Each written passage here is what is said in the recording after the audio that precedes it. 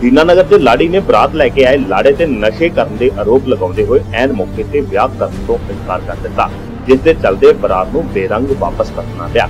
ਘਟਨਾ ਦੀਨਾਨਗਰ ਦੇ ਗੁਰੂ ਨਾਨਕਪੁਰੇ ਦੀ ਹੈ, ਜਿੱਥੇ ਕੁੜੀ ਨੇ ਐਨ ਮੌਕੇ ਤੇ ਹੀ ਲਾਵਾਂ ਲੈਣ ਤੋਂ ਨਾ ਕਰ ਦਿੱਤੀ। ਦਰਅਸਲ, ਵਿਆਹ ਵਾਲਾ ਮੁੰਡਾ ਪਹਿਲਾਂ ਤਾਂ ਗੱਡੀ ਤੋਂ ਹੀ ਨਹੀਂ ਉਤਰਿਆ ਸੀ, ਫਿਰ ਉਸ ਨੂੰ ਕੋਈ ਦਵਾਈ ਖਿਲਾਈ ਗਈ ਤੇ ਉਹ ਆਨੰਦ ਕਾਰਜਾਂ ਲਈ ਲੱਡ ਖੜਾਉਂਦਾ ਹੋਇਆ ਪਹੁੰਚਿਆ, ਜਿਸ ਨੂੰ ਦੇਖ ਕੇ ਕੁੜੀ ਨੇ ਲਾਵਾਂ ਲੈਣ ਤੋਂ ਇਨਕਾਰ ਕਰ ਦਿੱਤਾ। ਜਿਸ ਤੋਂ ਬਾਅਦ ਮੁੰਡੇ ਦਾ ਮੈਡੀਕਲ ਕਰਾਉਣ ਦੀ ਮੰਗ ਉੱਠੀ।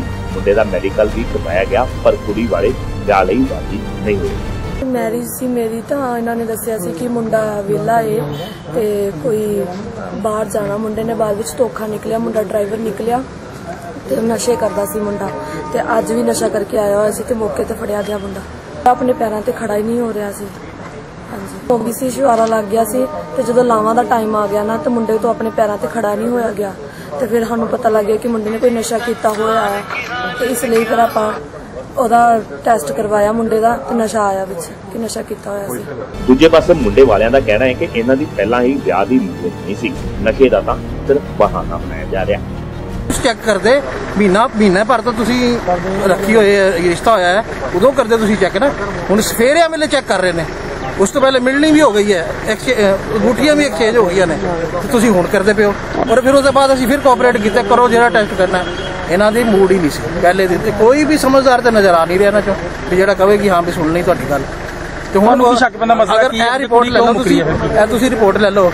ਅਗਰ ਇਹ ਰਿਪੋਰਟ ਗਲਤ ਹੈ ਤੁਸੀਂ ਜਿੱਥੇ ਮਰਜ਼ੀ ਛਾਪ ਦੇਣਾ। ਜਿੱਥੇ ਮਰਜ਼ੀ ਪ੍ਰਿੰਟ ਕਰਾ ਦੇਣਾ ਅਗਰ ਇਹ ਰਿਪੋਰਟ ਗਲਤ ਹੈ। ਮਾਮਲਾ ਥਾਣੇ ਪਹੁੰਚਿਆ ਜਿੱਥੇ ਪੁਲਿਸ ਨੇ ਦੋਵਾਂ ਧਿਰਾਂ ਦੀ ਸਹਿਮਤੀ ਨਾਲ ਰਿਸ਼ਤਾ ਰੱਦ ਕਰਦੇ ਹੋਏ ਰਾਜੀਨਾਮਾ ਕਰਵਾ ਦਿੱਤਾ ਹੈ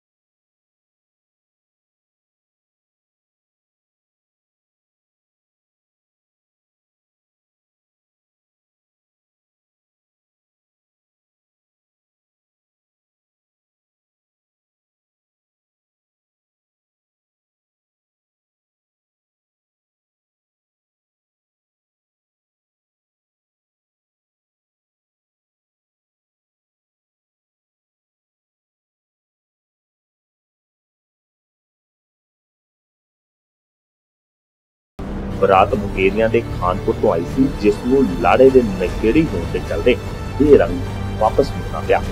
ਦੀਨਾਨਗਰ ਤੋਂ ਦੀਪਕ ਕੁਮਾਰ, ਖਬਰ ਹੱਸਲ ਲਈ